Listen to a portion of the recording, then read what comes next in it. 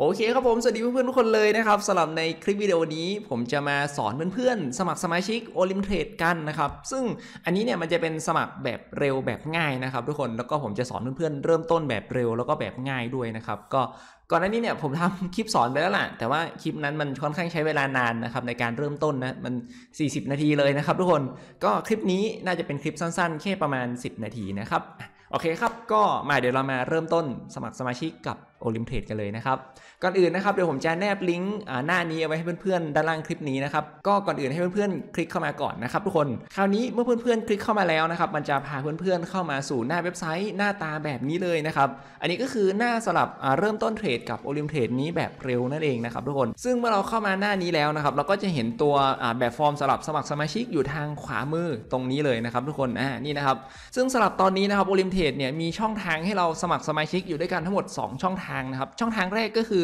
ให้เราใช้ตัวอีเมลในการสมัครสมาชิกนะครับทุกคนแล้วก็อีกช่องทางหนึ่งก็คือใช้เป็นตัวบัญชี Facebook อ่า Google หรือว่า Apple นะครับในการสมัครนั่นเองนะครับ ซึ่งถามว่าใน 2 ช่องทางนี้ช่องทางไหนดีกว่ากัน ก็ผมแนะนำว่าเป็นอีเมลจะดีกว่านะครับทุกคนอะแล้วถามว่าเอ้ยทำไมการใช้บัญชีที่เรามีอยู่แล้วมาสมัครแบบนี้มันไม่ดีเออมันไม่ดีตรงไหน มันไม่ดีตรงที่ว่าถ้าสมมติบัญชีเหล่านี้เนี่ยมันมีปัญหา เช่น สมมติเราสมัครแบบใช้ Facebook นะครับถ้าสมมติบัญชี Facebook ของเราถูกแฮ็กหรือมันมีปัญหามันล็อกอินไม่ได้ เราก็ไม่สามารถที่จะเข้าบัญชีเทรดของเราได้เลยนะครับอ่านึกภาพออกใช่ไหมคือ ถ้าบัญชี Facebook เรามีปัญหา เราก็ไม่สามารถจะล็อกอินเข้า Olymptrade ได้นั่นเองนะครับมันจะเชื่อมกันแบบนี้เลยเนาะแต่ถ้าเราใช้เป็นตัวอีเมลนะครับทุกคนต่อให้อีเมลเราจะถูกแฮ็กแต่ว่า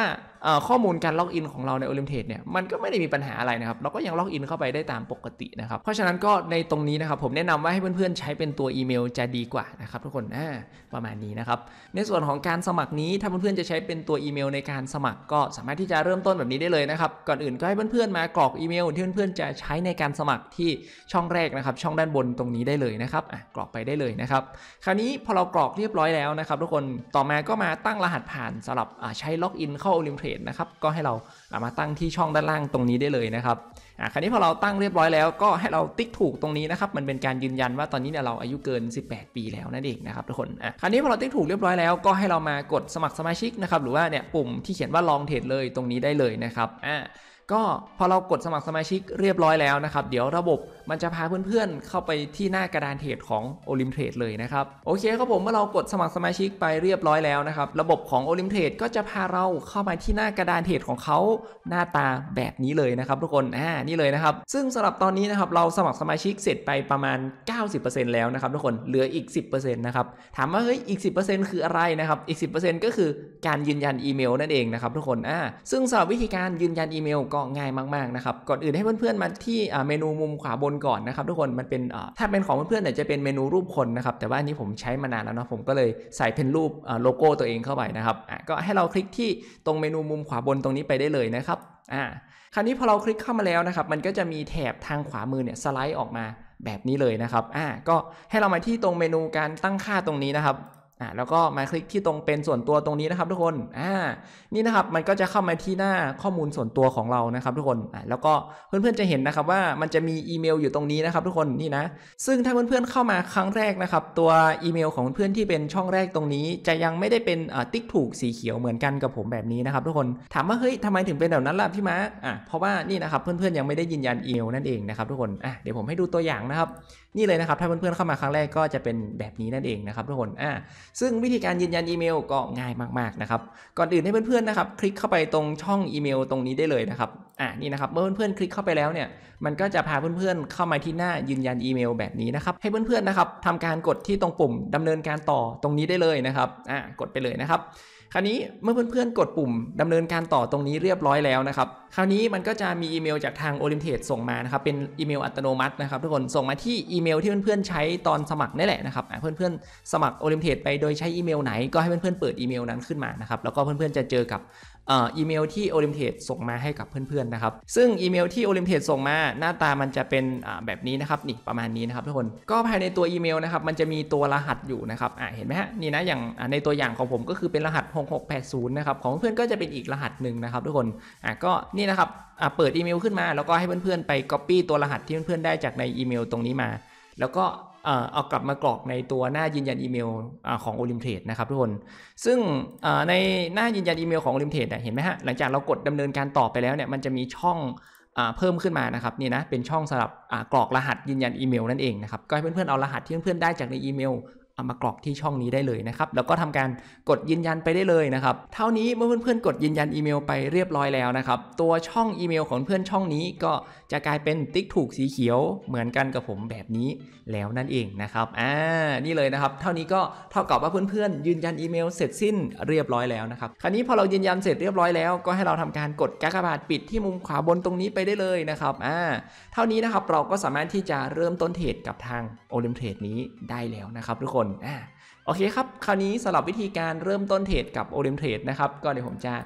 แนะนำเพื่อนๆนิดนึงนะครับ ก่อนอื่นนะครับให้เพื่อนๆเปลี่ยนกราฟก่อนนะครับ ตอนนี้เนี่ยมันเป็นกราฟสีฟ้าๆแบบนี้อยู่เห็นไหมฮะ ซึ่งกราฟแบบนี้เนี่ยมันเขาเรียกว่ากราฟเส้นนะครับ ซึ่งไม่ค่อยจะนิยมใช้กันเท่าไหร่นะครับ ซึ่งส่วนใหญ่แล้วเราจะนิยมใช้กราฟที่เป็นแท่งเทียนมากกว่านะครับทุกคน อะ ซึ่งวิธีการเปลี่ยนจากกราฟเส้นแบบนี้ไปเป็นกราฟแท่งเทียน ก็ให้เรามาตรงที่เมนูมุมซ้ายล่างตรงนี้นะครับ เห็นไหมฮะ มันจะมีเมนูรูปกราฟอยู่นะครับ ก็ให้เราคลิกเข้าไปเลย แล้วก็ให้เราเลือกเป็นแท่งเทียนญี่ปุ่นแบบนี้นะครับชึบอ่า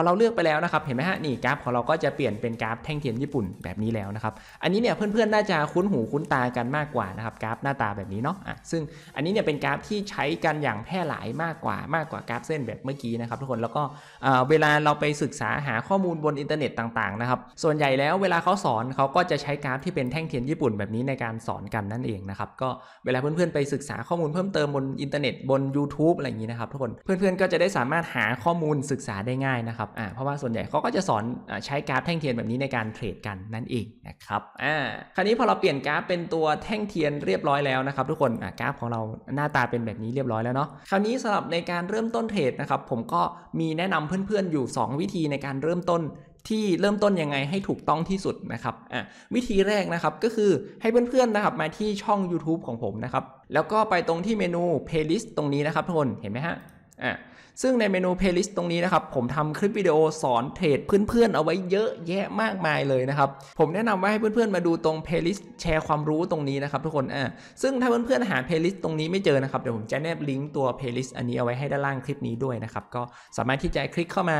ศึกษากันได้นะครับ ซึ่งใน playlist อันนี้นะครับผมแชร์ความรู้ในการเริ่มต้นเอาไว้ให้เพื่อนๆ หมดแล้วนะครับทุกคน ซึ่งถ้าถามว่ามีแบบเจาะลึกไหมมีแบบคลิปที่มันลึกๆไหมคำตอบก็คือใน playlist นี้ยังไม่มีนะครับทุกคนเพราะว่าอะไรลึกๆเนี่ยแน่นอนว่าถ้าเพื่อนๆกำลังเริ่มต้นเนี่ยเพื่อนๆก็จะงงได้นะครับอันนี้ผมก็ไม่ได้เอาใส่เข้ามานะครับทุกคนซึ่งนี่เลยนะครับก็คือวิธีแรกที่ผมแนะนำนะครับก็คือมาศึกษาจากช่องของผมนี่ก่อนนะครับแน่นอนนะครับว่าถ้ามาศึกษาจากช่องของผมเนี่ยเพื่อนๆก็จะได้รับความรู้ได้รับอะไรกลับไปเยอะแน่นอนนะครับเพราะว่าผมเทรดในโอลิมเทรดนี้เป็นหลักเลยนั่นเองนะครับเพราะฉะนั้นคลิปวิดีโอส่วนใหญ่ที่ผมสอนเพื่อนๆก็ผมจะสอนเพื่อนๆเกี่ยวกับโอลิมเทรดนี้เป็นหลักเลยนั่นเองนะครับอ่า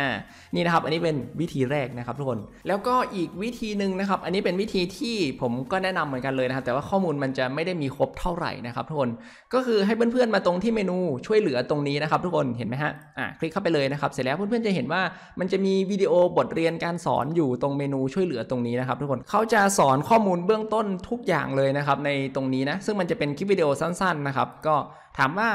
ข้อมูลมันครบไหมแน่นอนข้อมูลมันครบนะครับ แต่ว่ามันมันจะสั้นเกินไปนะคลิปมันจะสั้นเกินไปเพื่อนๆอาจจะไม่เข้าใจในบางจุดได้นะครับ ซึ่งตรงนี้นะครับเพื่อนๆอย่างน้อยเนี่ยสามารถใช้ดูเพื่อ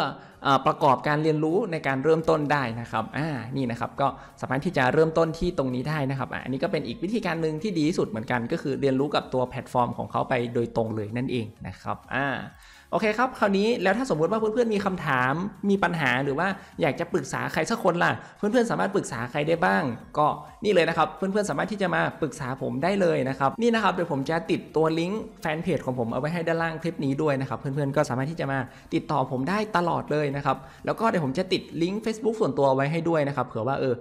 ทักผมมาในเพจแล้วก็บางทีผมไม่เห็นอะไรเงี้ยนะครับ ทักมาใน Facebook ส่วนตัวก็ได้นะครับเดี๋ยวผมจะติดไว้ให้ด้านล่างคลิปนี้ด้วยนะครับ ซึ่งสำหรับในเพจนี้นะครับทุกคนผมก็ที่จริงมีอัปเดตผลงานการเทรดให้ดูตลอดด้วยนะครับสำหรับเพื่อนๆที่อยากจะติดตามผลงานการเทรดของผมด้วย หรือว่าอยากจะติดตามผลงานการสอนของผมด้วย ซึ่งผมจะมีการทำคลาสสอนอยู่ตลอดด้วยนะครับ เพื่อนๆก็สามารถที่จะมาติดตามในเพจนี้กันได้นะครับ ทุกคนนะก็ตอนไหนมีคลาสสอนหรือว่าวันไหนหรือสัปดาห์ไหนมีคลาสสอนผมก็จะแจ้งให้ตลอดนะครับอ่าตามนี้เลยเนาะโอเคครับ ก็นี่เลยนะครับ อันนี้เป็นวิธีการเริ่มต้นเทรดกับโอลิมเทรดนี้นะครับก็วิธีการที่ถูกต้องในการเริ่มต้น ผมแนะนำได้ตามนี้เลยนะครับทุกคนซึ่งทางที่ดีที่สุดนะครับก็ถ้าเพื่อนๆมีคำถามหรือมีปัญหาอะไร ก็แนะนำมาให้มาปรึกษาผมนะครับปรึกษาผมได้เลยนะผมยินดีให้คำปรึกษาฟรีๆเลยนะครับผมไม่คิดค่าใช้จ่ายอะไรสักบาทนะครับทุกคนก็คือมาปรึกษาได้เต็มที่เลยนะครับผมยินดีให้คำปรึกษาทุกคนเลยนะครับไม่ห่วงแล้วก็ไม่กักความรู้ใดๆทั้งสิ้นนะครับโอเคครับผมก็สำหรับในคลิปวิดีโอนี้ก็หวังว่าเพื่อนๆจะได้วิธีการในการเข้ามาเริ่มต้นเทรดกับโอลิมเทรดนี้อย่างถูกต้องกันนะครับ โอเคครับผมสำหรับในคลิปนี้ขอบคุณทุกคนมากๆ ที่ติดตามรับชมกันนะครับสำหรับในคลิปนี้ผมหวังว่าจะเป็นอีกหนึ่งคลิปดีๆ แล้วก็เป็นอีกหนึ่งคลิปที่เปิดโอกาสให้เพื่อนๆได้รู้จักกับโลกใบใหม่ โลกของการเทรดนะครับ